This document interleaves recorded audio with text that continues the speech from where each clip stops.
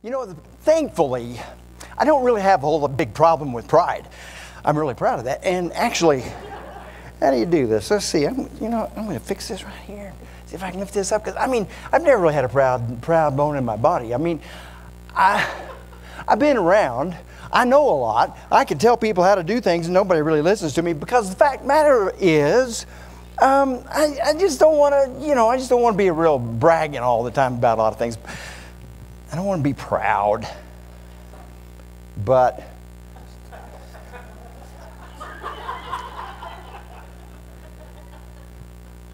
who was that guy? There are some people. I'll tell you, there are some people, though, who could probably use a little help. And I, I mean, uh, just the other day, I was driving uptown to get a burrito, and this guy cuts in front of me and I mean, cut right in front of me. What an idiot. I mean, where do people like that learn how to drive? I, mean, I had to look twice to make sure it wasn't a woman driving because you know how that is. But here's the problem.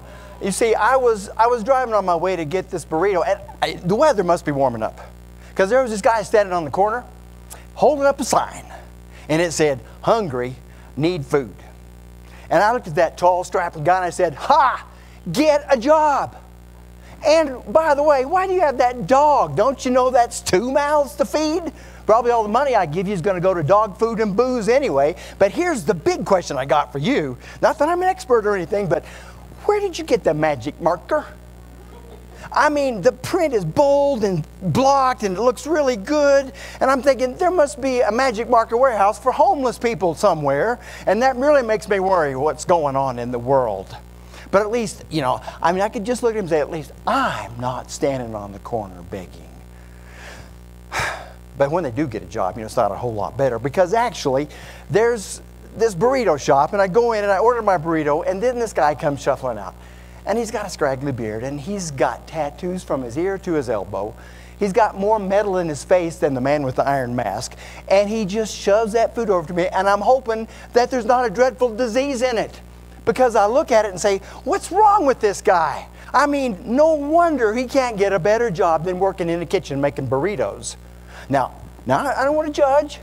I mean, I grew up poor, I worked hard, I went to school, I earned a PhD, I worked really hard. And you know what? I didn't have to do it with ink and tattoos and metal and a man bun. But here's the real problem is that is they're all millennials. Now, there's the real problem. There, there's the problem because, you know, I mean, I don't want to talk down, but, you know, millennials, I mean, snowflake video gamers. What's the world coming to? How are they ever going to get a job? They just want to be applauded and coddled, and they make fun of us old people who created the whole world and fix it for them so that they could have it. And you know, I, I just don't know how it's going to work out. I mean, I mean, I don't spend all day posting funny pictures of my cat on Facebook. I get up and go to work. Speaking of which, I left the burrito shop, drove out into the street, and you know what happened the first thing? Yep, I hit a pothole. And then another pothole. And then another pothole. I thought, what is wrong with this county? Why can't they fix the potholes? Now, I'm not an expert. I don't really know a lot about all that kind of stuff, but I tell you what, I see those guys leaning on the shovels and standing around those potholes, and I think, I can fix a pothole. I can put the asphalt in there. I can make it smooth. I mean, my truck has more rattles in it than a baby buggy, and I'm still just driving over potholes. I cannot figure out what's wrong with this. Speaking of rattling around, you know what I've been doing the last few years? I've been visiting churches, and churches are in a mess. In fact, I think a whole lot of churches are just going downhill. I haven't been to a church in the last two years that I think I would attend regularly, no offense. But you know what the problem is? Churches just can't figure out what they're doing. I mean, they can't figure out what kind of music to sing, what kind of style to follow. They're supposed to be contemporary, they're supposed to be traditional, and the traditional people that sing the hymns think those people that sing contemporary songs are shallow, and those shallow people that sing the hymns, the contemporary songs, think those hymn singers are old fogies. They can't figure out what Bible to use. Is it KJV? Is it NIV? Is it the cool new hip ESV? I mean, you know what? Just what? And here's the deal. I, I've been around. I know a lot about church. I mean, I, I don't want to brag, but I could tell them if they would listen how they could probably fix their church. You know, the liturgicals are stuck in the 16th century, the Pentecostals are just jumping around making a lot of noise and hollering. It's just a big mess. Why don't they listen? I can kind of help them out. But here's the big problem it's the.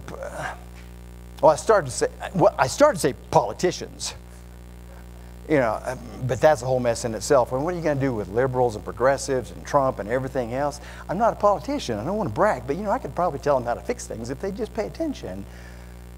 But I do have a lot of things to say about them. But what I meant to say was preachers. Preachers are really the biggest problem in churches. You know what the problem with preachers is? They talk, talk, talk, talk, talk, talk, talk, talk, talk, talk, talk, and they don't listen. And you know what they'll do on Monday morning? they will brag to you about how big their church is, and they always round up to the nearest hundred. Every time. And then they'll say, Hey, and guess what I preached on yesterday? And I'll say, I don't want to know what you preached on. Don't tell me what you preached about. I don't want to hear what you preached about. I want to tell you what I preached about. That's what you need to hear. Because it probably do you some good. I mean, I don't want to brag. I'm not an expert in everything, but I can help if they'd listen. They just don't listen very well. Problem is, they just really brag too much. And, well, I'm thankful that I don't have a problem with pride.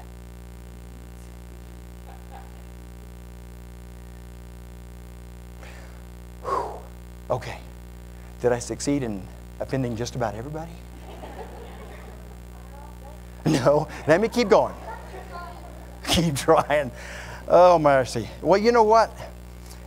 I really don't like talking like that. I really don't. Because that's, that's kind of, it's kind of ugly, isn't it? But it's also, uh, I'd like to think it was tongue in cheek, but mostly it's uh, kind of confessional. Mostly, sadly, it's kind of looking in a mirror when I talk like that. Because I do often hear those kinds of words. If not coming out of my mouth, flitting through my mind. I'm not proud of that. In fact, that kind of hurts. It makes me a little bit queasy. You see, the pride, we're going to talk a little bit about pride today. The pride that's really obvious in people, the, uh, the people who put on airs, who are outright arrogant and condescending and conceited. And here, you know who I'm thinking about? Think about the, uh, the uh, king and queen from the castle next door in the Bud Light commercial. You know, the long curly hair and the hat and the makeup. So you know who I'm talking about. When, when we think about those kind of people, oh, our castle is so much brighter. Oh, our people are so much better dancers. Oh, our drink, mead, of course, is so much better.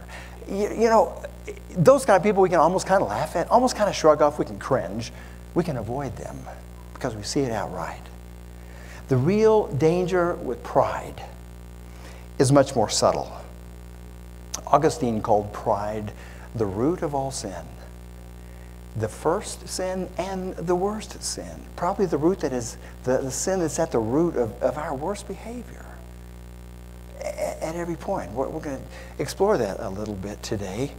The thing in us that makes us think we're the center of the universe, whether we say that out loud or not, we'll, we'll often think, you know, the world revolves around me that makes us think that we're more than we are, that we're all that, or at least we're a little bit better, a little bit higher than the other people that we're around.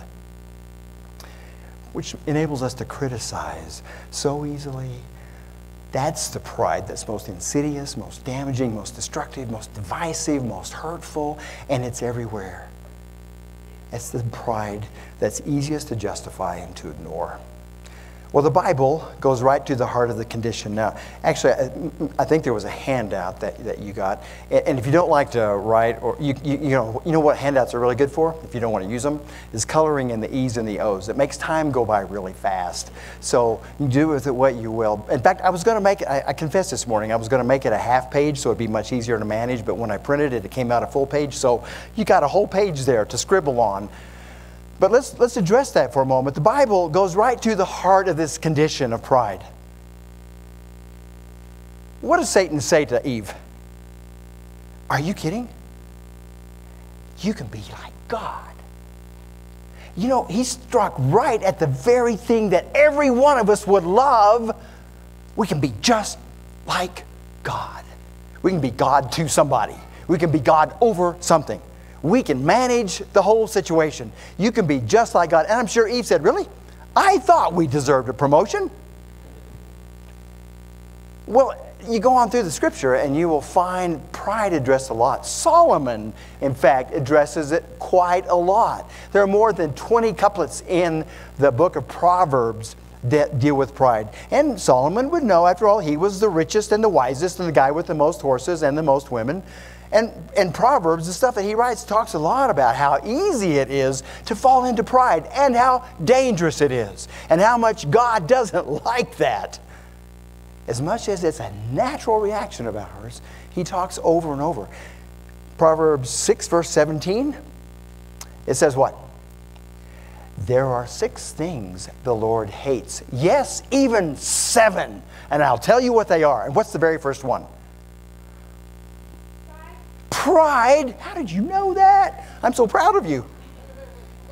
Haughty eyes. Pride. Yes.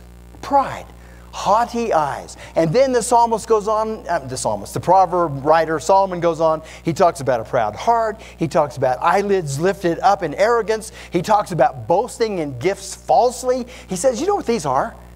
They're clouds without rain, promises of something, but nothing. He talks about pride a great deal. We're going to look at the New Testament today very quickly. And I, I, want you, you'll, I think you'll see it on the slides and you'll see it on your paper. So we're just going to kind of walk through it. I'm going to mention a number of texts. One reason why I put this on the paper and the text there is because we're not going to look up every one of them, but they'll be in front of you. You can look at them later. In fact, I would recommend that. I would recommend you take some time today, this next week, and look up some of these texts, ponder them for a moment, and say, "Ooh, I guess I should, I guess I should be thinking about this. I should let this scripture speak to me." There are five different words in the New Testament, five different Greek words. We always have fun with these Greek words, do we not? But they're translated pride, translated boasting, translated vainglory, high minded, puffed up. The reason we look at them is because they are instructive. They give us a glimpse of ourselves. The first one we're going to look at, alazonia, is a word that means quack, as in impostor think snake oil salesman. Think about the guy who just rolls into town and he's got this thing he wants you to buy and he just goes on. You, you know, back in, back in a long, long, long time ago, believe it or not, I was a door to door salesman. Actually, I had a lot of fun as a door to door salesman. It was hard work. But you learn the spiel, and then you just go to door to door to door to door, knocking. You expect to get the door slammed in your face. What, seven out of ten times is what they tell you in sales school, but you just keep going. And I'd go up on the door, and, and actually, I, I do this to this day, and this was a long time ago when I did this. And I, I, you're trained to go up on the door. You should do this when you visit people, by the way. Stand at a 45. Don't be staring in through the screen Stand at a 45 and uh, you know knock and then and then put your hands in your pocket and whistle. That way, it puts them at ease when they see you. Okay, there's a little hint, just just for future reference. You might need that. And then when she opens the door, you say, Hi, Ms. Jones. Hopefully, you know her name because you saw it on the mailbox or you saw it somewhere. You're looking for clues, right? So you say, Hey, Ms. Jones, I've been out in the neighborhood talking to all the church folks. I'm selling Bible books. I've been talking to all the church folks. They're so excited about something that I would like to take just a moment to show you today. I think you'll love exactly the same things your neighbors have been looking at and saying, Yes, I want those. I don't think that's quite the spiel, but it's something like that. And I, have thought about that so many times about that business of putting on a sales job. And of course, you're, you taught how to respond to, uh, to, um, to objections when they say, I don't need this. And so you respond to objections by saying, Yes, ma'am, I know just what you mean. But then you go on with your thing. Well, you've heard it from the sales guy on the telephone as well, right? Who just keeps going. Yes, ma'am, I know what you mean. One, I remember one day I was down in Mississippi selling books, and this lady looked at me through her door after I'd said about the fourth time, Yes, ma'am, I know just what you mean, but you know, you're going to love this. And she said, Boy, you don't know nothing. That, that, was, a, that was a wise word. But I think often of that, you got the sales pitch, and it's look at me, let me tell you how impressive I am, even if I have to make some of it up. John uses this very word when he says, All that's in the world, the lust of the flesh and the lust of the eyes, the boastful pride of life. This is in 1 John 2 16. He says, This is not from the Father. In James 4:16, when James is talking about people who've got their whole lives planned out and they know exactly what they're going to do next and they got it all mapped and here they go, and he says, You better be careful. Because you can't map out your life. You don't know what's coming tomorrow. You boast in your arrogance, and that boasting is evil. James 4:16. The guy that inflates his credentials on his resume to seem more important or more authoritative or more impressive, that's this kind of impostor, this quackery. You know, there are folks who want to serve God, but they really only want to be his advisors.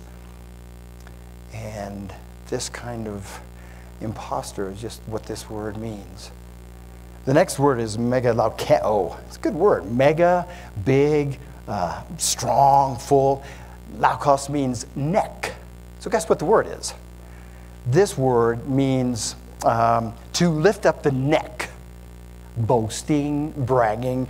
I'm trying to figure out what that looks like. Where does that phrase come from? Lift up the neck. Look at me.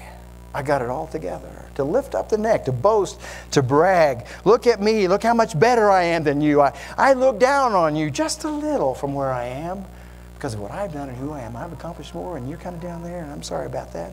But I'm up here. Let me help you if I can. Nah, don't worry about you. James uses this word in James 3:5 when he says, Your tongue boasts of great things, and it starts forest fires.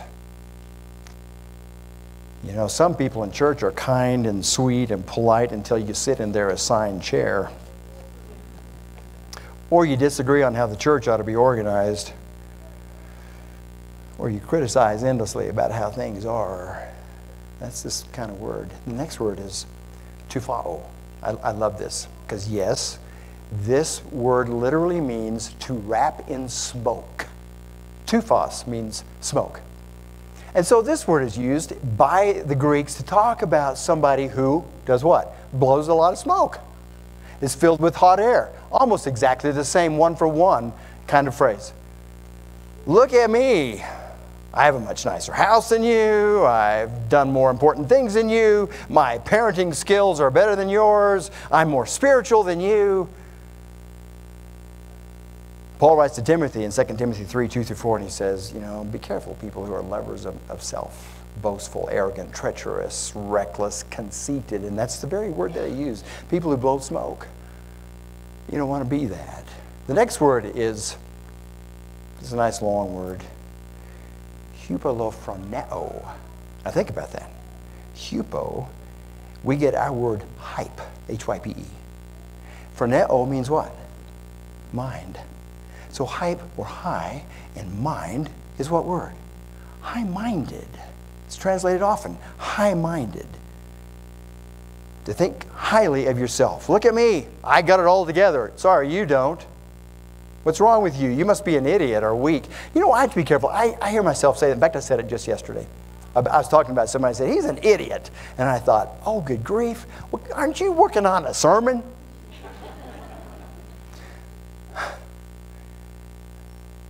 Paul writes to Timothy in 1 Timothy 6:17 and he says, "Instruct those who are rich in the world not to be high-minded, not to think too much of themselves." The last word is kenodoxia. The first part of that kenos, kenos means vain. Doxa means glory. The word means vain glory. We translate it exactly that way seeking respect and adulation, desperate for the applause of others, doing whatever it takes to build yourself up so that other people will see how great you are. Look at me. If I talk long enough about myself, you'll know how hard I've worked and how much I volunteer and how much I deserve your praise. I really think more of me than I do of you. And you should feel that way also. This is the guy who seeks vainglory. Paul writes to the Philippians about this, Philippians 2 3, and he says, Do nothing from selfishness or empty conceit, vainglory. He writes to the Galatians in Galatians 5 26, Let us not become vainglorious, boastful, where we challenge one another and envy one another. Those words speak. I don't know about you. I said this, this sermon is largely confessional for me. It's like, oh, I'm there every time I turn around. It's so easy to be critical of people, and that critical spirit comes from thinking I'm just a little bit better, a little further down the road. So, what's the fundamental problem with this pride business? Number one, and you've got four, four points there. It short circuits what God wants to do with me. If I think I'm all that, if I see myself just a little above others, if I readily compare myself and see myself as better, then I will never be willing to let Him shape me. I will be really quick to take the clay out of the potter's hand and say, I can do a better job. I'll take the brush away from the painter and say, I can paint a better picture of my life than you can. And when I do that, I will always come up wanting. I will come up short. I will not be content. I will be disappointed. It short circuits what God wants to do with me, but it also destroys the ability to see others the way God sees them. What happens when I am just fraught with this sense of, you know, I'm sorry about you, you're kind of dirty and scruffy, or you got this or that, and you don't, you don't measure up. If I think I'm all that, if I see myself as just a little smarter, wiser, and they're just a little lower, if I only see others through my preconceived notions and prejudices and judge them through my lenses, whether I say they're, they're young and they don't know any better, or they're old and, and ignorant, or they're dirty or lazy or loud or pushy or pierced or tattooed, if I label them from my lofty position and judge them as liberal or gay or Mexican or whatever, whatever epithet I might pull out to say, well, that's them. I'm me and that's them. Then I will never see their heart, will I? I will never see their heart.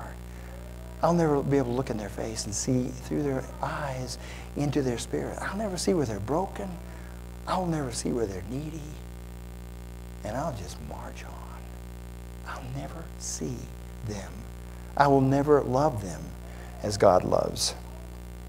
It reminds me of a scene from a movie that came out a few years ago. How many of you remember uh, Bruce Almighty?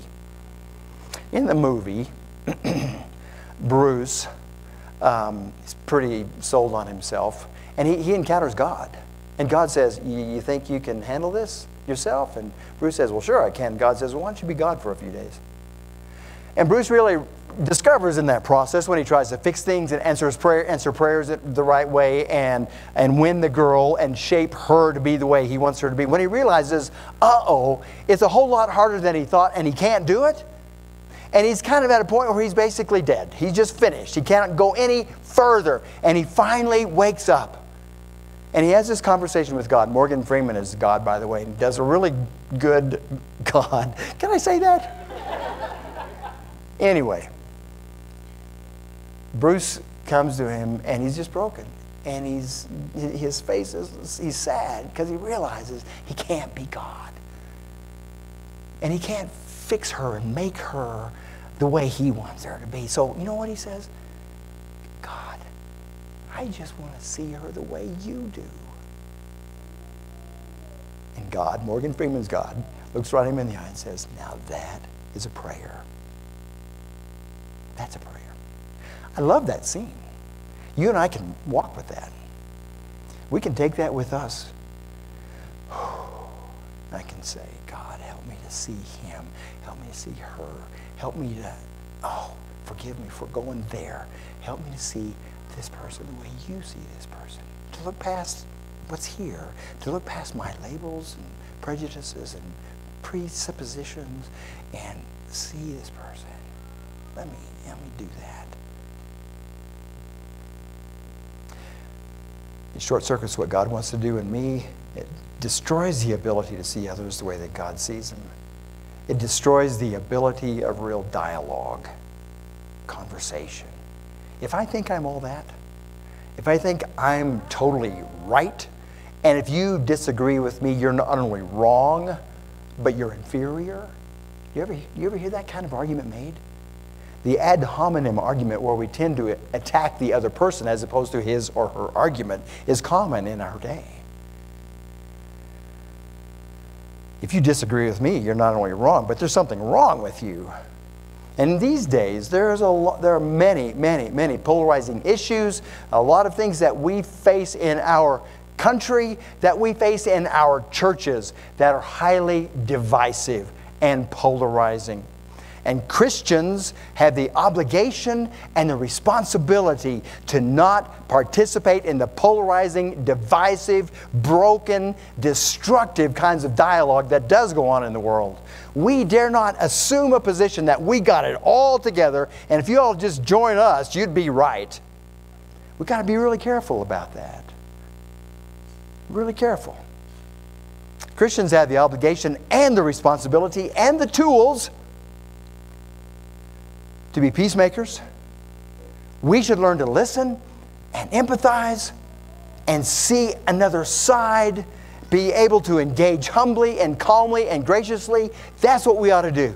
If we look at Jesus, when he engaged people of all kinds, even the people who hated him the most, we can take lesson from that. That doesn't mean we don't have convictions and beliefs. It means what we don't have to be is puffed up, smoke blowing, high minded, conceited Pharisees. And that's where Christians can easily drift. So, what ought we be doing? We ought to seek to understand as well as to be understood. We know we don't have all the answers. We can't often see a clear path to the solution. So, we seek to learn and you know what we do as much as anything else? And we read this in Ephesians 4:32. We extend grace just in the same way it's been extended to us. We've been recipients of a free, flowing, life-giving grace. We can learn how to extend that even to people with whom we vehemently disagree and see those people not as our enemies, but as people with whom we can engage because that's how God sees them. We can extend grace and put the interest of others ahead of our own. That's the starting point for constructive dialogue and conversation. But the fourth thing, this kind of pride we're talking about seriously hinders sharing the gospel of Jesus. If I think I'm all that, if I think I'm just a little better than others, then I'm not going to look like him. Nor am I going to give much credibility to his life changing love, grace, forgiveness, and hope.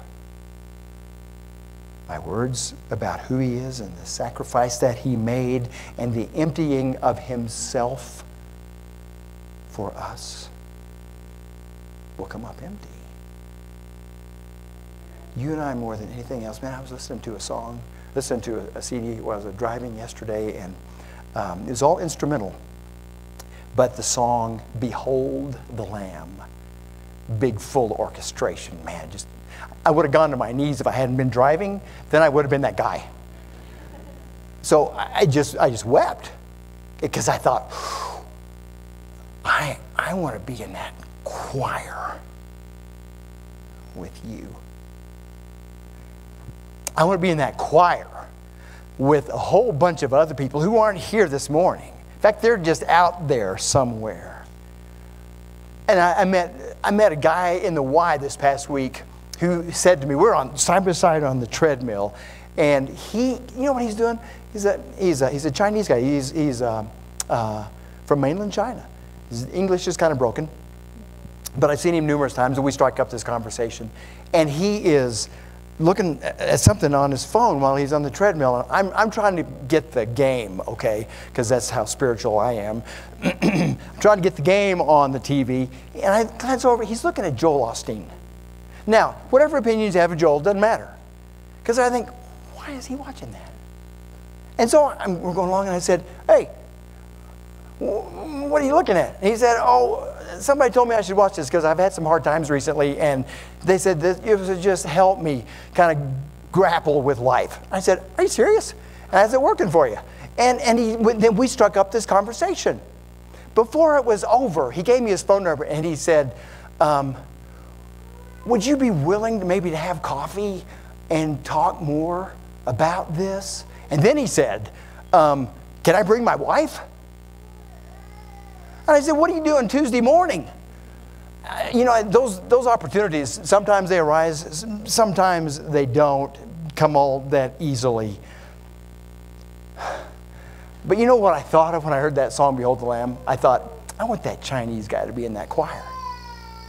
That's what I thought. I, I want that. I want to be singing those songs with just as many people as we can get there. And you know what? If we hang on to the garbage that so easily encroaches and leaks out, we're not going to do a very good job sharing that. Not, not very good. So let's think about what the response ought to be. Let's pray together, shall we? We're just going to pray.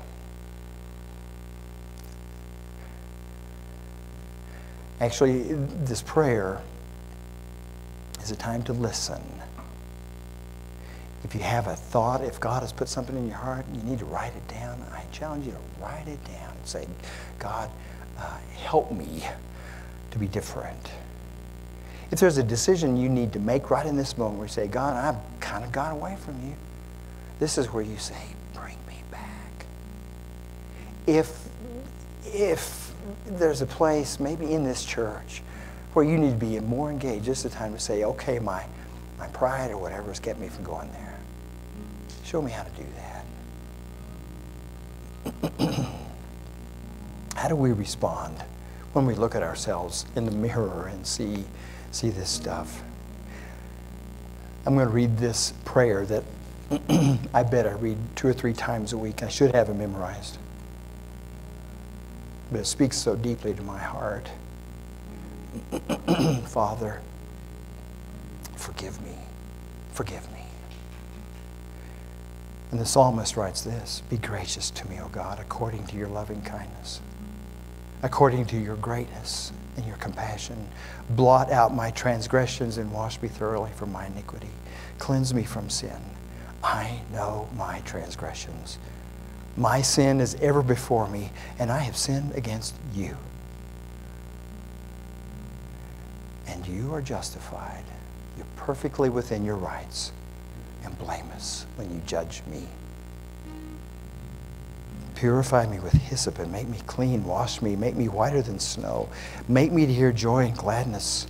Hide your face from my sins. Blot out my iniquities. Clean, create in me a clean heart, O God. Renew a steadfast spirit within me. Do not cast me away from your presence.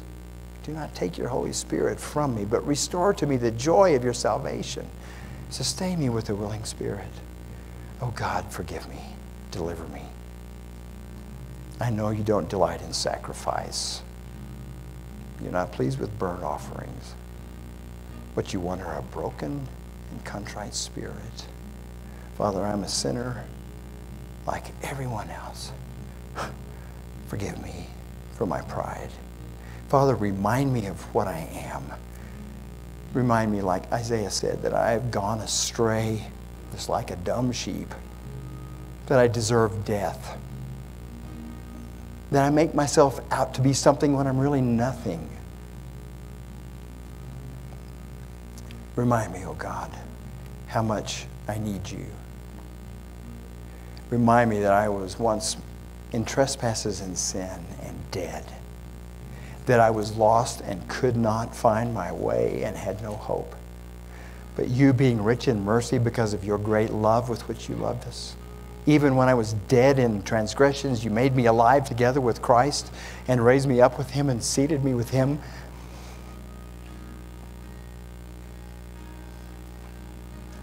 In the heavenly places.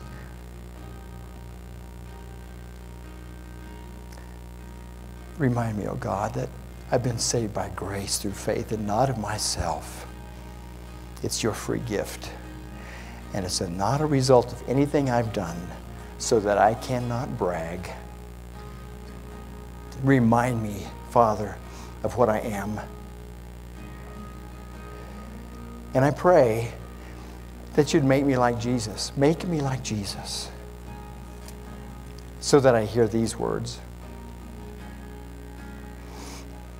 Do nothing from selfishness or empty conceit and pride, but with humility of mind regard one another as more important than yourselves. Don't merely look out for your own personal interests, but look out for the interests of others. And have this attitude in you, in you, which was also in Christ Jesus, who, although he existed in the form of God, did not regard equality with God a thing to be grasped, but he emptied himself.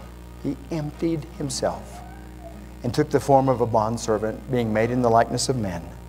Being found in appearance as a man, he humbled himself by becoming obedient to the point of death, even death on a cross.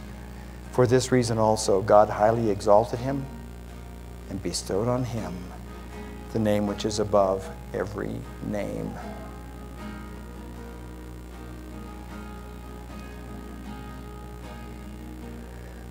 Oh God, may it be that I, along with Paul, can say, Let me know nothing except Jesus. To say with John, He must increase, I must decrease. Change my heart so that I put others first. Change the way I talk so that I will build people up and not tear them down. And change the way that I walk, change my habits to crucify the flesh. I know that in Christ, the old self is crucified, that I've been crucified with Christ. Lord, may I live that out. May I live that out.